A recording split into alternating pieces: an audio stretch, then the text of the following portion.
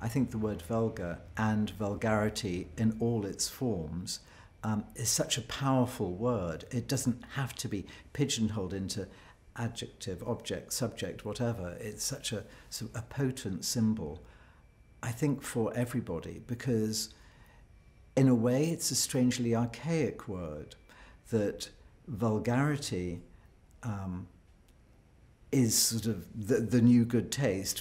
Who's, what's vulgar for one person is, you know, perfectly in good taste for another. You know, for a certain set of people, Kim Kardashian could be in the worst possible taste. For another a whole group of other people, she's an absolute icon of beauty and, and wonderfulness.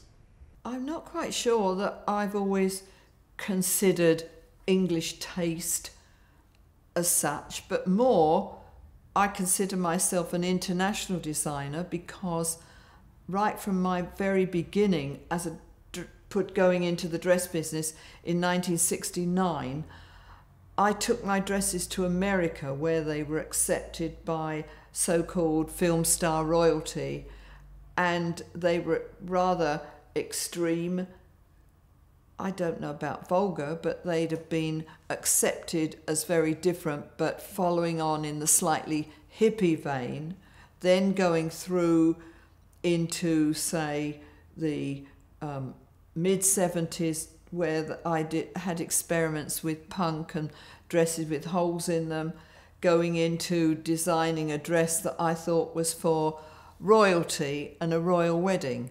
So I've always really gone into my own my own sort of little channel merely because if people are going to buy a Zandra Rhodes, they want to buy a Zandra Rhodes. They don't want to buy a dress that looks like Gina Fratini. They don't want to buy something that looks like Vivienne Westwood. It's got to look like I'm wearing Zandra Rhodes today or I'm wearing Versace today.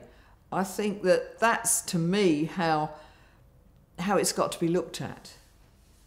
I think as a designer, you're really a professional tightrope walker.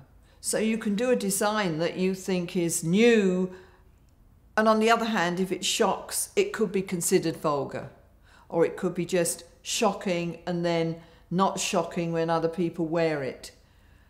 Um, I mean, I think now when you see what they go out in the catwalk or very short, it might be considered shocking as soon as fashion changes and goes down to, you know, to the floor again. So it's a very fine tightrope and it's a fine thing between shocking, vulgar, experimental. I think that this is going to be a rather wonderful line that people will have to choose for themselves how they see it.